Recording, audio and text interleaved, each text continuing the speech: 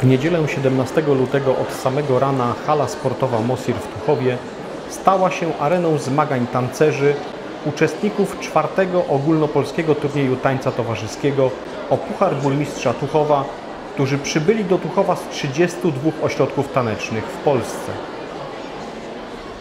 O godzinie 10 turniej został uroczyście otwarty przez burmistrza Tuchowa Mariusza Rysia. W turnieju wzięło udział 180 par tanecznych, które obserwowało przez cały dzień ponad 1000 osób. Swoje umiejętności taneczne prezentowały w kolejności klasy taneczne E, B, C i B.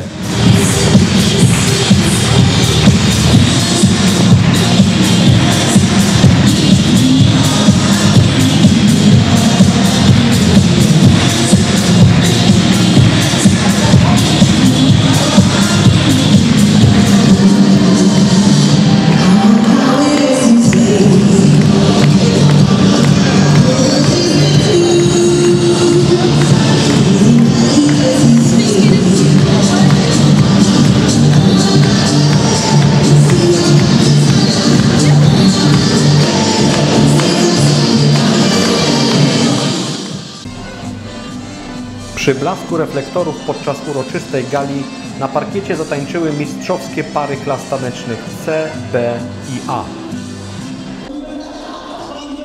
Nie zabrakło wrażeń estetycznych, których dostarczały piękne kreacje, wdzięk, uroda i czar tanecznych par prezentujących się na parkiecie z wielką gracją.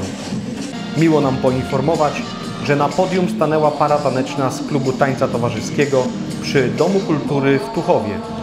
Aleksandra Ogiela i Grzegorz Wrona, która zajęła trzecie miejsce w kategorii wiekowej 14-15 w klasie D i stylu kombinacja 8T. W finale znalazły się jeszcze dwie pary z Tuchowskiego Klubu Tańca, Karolina Wojtanowska i Karol Ciszek oraz Gabriela Chudyka i Artur Michałek. Turniej swoim występem uświetniła tuchowianka Anna Siwek z partnerem Kamilem Kuroczko, którzy zaprezentowali mistrzowski pokaz tańców latynoamerykańskich.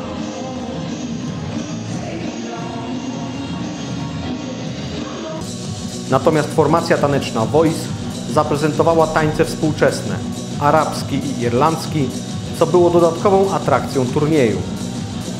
Podziękowania kierujemy do wszystkich osób, które włączyły się w zorganizowanie i przeprowadzenie turnieju. Organizatorami turnieju byli burmistrz Tuchowa, Miejski Ośrodek Sportu i Rekreacji w Tuchowie oraz Dom Kultury w Tuchowie.